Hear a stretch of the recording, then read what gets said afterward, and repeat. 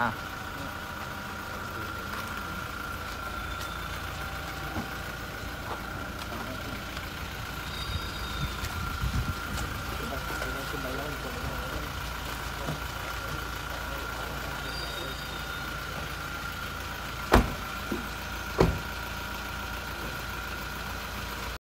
โดยผิดกฎหมาย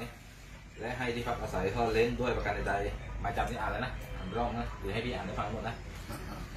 แก่บุคคลต่างด้าวที่เข้าเมือง แก่บุคคลต่างด้าวที่เข้าเมืองโดยผิดกฎหมาย คืออาจจะเป็นบุคคลต่างด้าวที่มากับรถไฟถูกไหมที่ลงไปรับมาถูกไหมเมืองไปไม่ได้รับนะคือว่าอ่าเดี๋ยวพฤติการเนี่ยนี่ตามหมายจับก่อนเพื่อให้คนต่างด้าวนั้นพ้นจากการจับกุมนี่มันเป็นข้อหาที่ศาลเขาท่านออกมา และร่วมกันกระทำความผิดฐานค้ามนุษย์ และสมคบกัน โดยการตกลงกันตั้งแต่สองคนขึ้นไป ตั้งแต่สองคนคือที่มีรายชื่อตรงเนี้ยเขาถึงใช้คำว่าร่วม เพราะมันมากกว่าหนึ่งคนนะครับ ถึงเป็นว่าเป็นตั้งแต่สองคน